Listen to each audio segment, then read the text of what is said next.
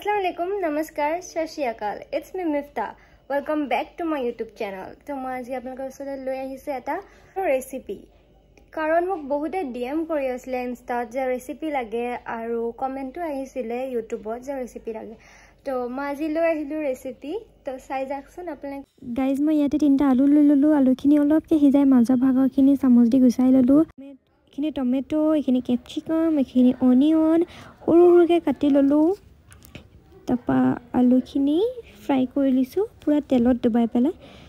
মাজৰখিনিত ভালকৈ তেল দি দিছোঁ যাতে মাছডোখৰ ভালকৈ সিজে নাইবা টান হৈ থাকিব মাছডোখৰ গাইজ অলপকৈ তেল গৰম কৰি লৈছোঁ তাতে মই দি দিলোঁ কাটি থোৱা অনিয়নখিনি।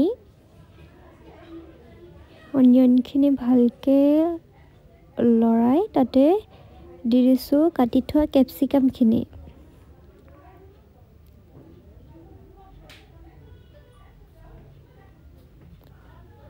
তাৰপৰা মই ইয়াতে দি দিছোঁ কাটি থোৱা টমেট'খিনি।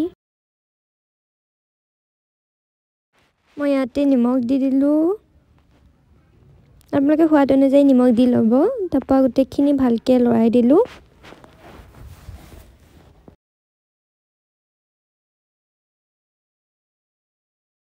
জলকীয়া গুড়ি দি দিছোঁ। অলপ হালধি গুড়ি দি দিছোঁ। অলপ জিৰা গুড়ি। ধুনীয়াকৈ এইখিনি ফ্ৰাই হ'বলৈ দিছোঁ অলপ টাইম তাৰপৰা এইখিনি আমাৰ ভাজি থোৱা আলুখিনি। এইখিনি ফ্ৰাই হৈ গ'ল। অলপকৈ লৈ ইয়াতে দি দিছোঁ। ঠিক তেনেদৰে গোটেইকেইটা দি। এয়া মোৰ ইভিনিং স্নেক্স ৰেডি যদি আপোনালোকৰ ভাল লাগিছে লাইক কৰিব শ্বেয়াৰ কৰিব কমেণ্ট কৰিব এণ্ড মোৰ চেনেলটো ছাবস্ক্ৰাইব কৰিবলৈ নাপাহৰিব। অ'কে বাই বাই গাইছ